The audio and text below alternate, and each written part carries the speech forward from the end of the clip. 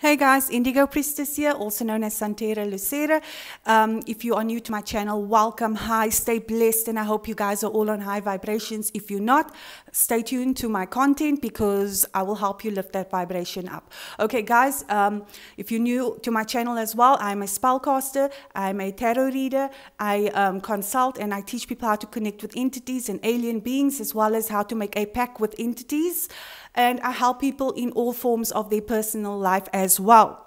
So, this is a topic that I really wanted to talk about. Okay? Becoming that which you desire to attract in your life without losing the patience to bring it into your life. I find that so many people on a daily basis are impatient for what they desire in life.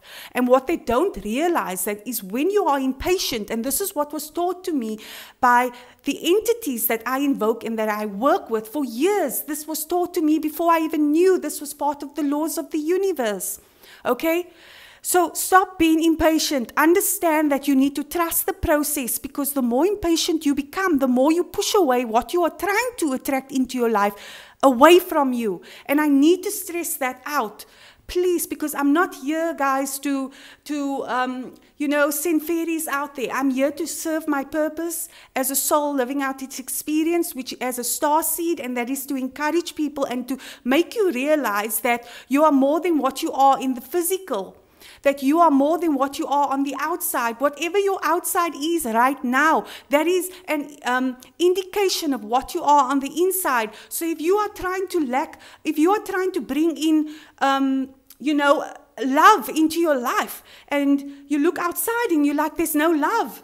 There's going to be no love. And if you are impatient about that love, that love's not going to come in because it's part of the laws of the universe. You got to feel that love for yourself already. Get rid of the insecurities and understand that you are a being of the oneness. Understand that you are more than just the body. Understand that whatever you are right now is who and what you will attract in the present and in the future. So if you are sad and frustrated because life isn't coming right, guess what? Life will never come right because you are sad and frustrated, and the universe and your conscious, your higher self, um, thinks to itself, okay, they are frustrated that life is not coming right. So let's create that experience in their life. Let life constantly not be coming right. And that is how it works, guys. That is how it works. And I will keep reminding you if I have to. What you are Whatever is on the outside of you, whether it is poverty and struggle, it is because that is what you are on the inside. The second you heal yourself and work with, with yourself and go within, you will see that slowly but surely the outside will change and it will be a reflection of the inside. One of the things that you also got to do if you want to stay on the high vibration is be careful who you bring into your home. That is of utmost importance. If you have a family member that's toxic and you know they're toxic, toxic, I would encourage you to keep play music in the background, instrumental, calming, native Indian, um, traditional music, drumming, to keep the vibration high in your home so that that negativity doesn't come and um, overpower you and bring you further down. This is something I do a lot when I have people in my home. Play the music in your home Keep the vibrations going. Have a white candle burning.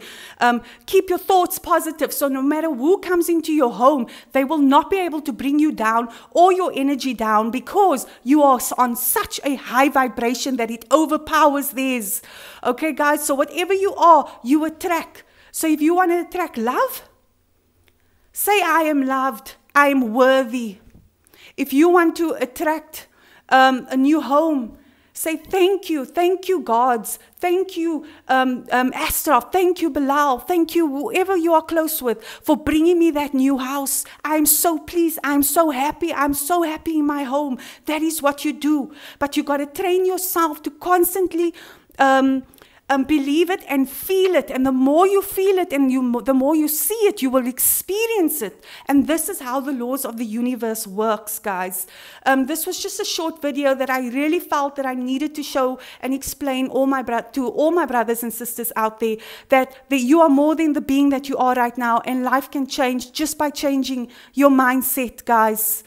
Um, if you need any form of counseling because maybe you're down and out, you can also contact me. Um, besides for just spell work and tarot reading. Guys, stay blessed, stay tuned for more content, and bye for now.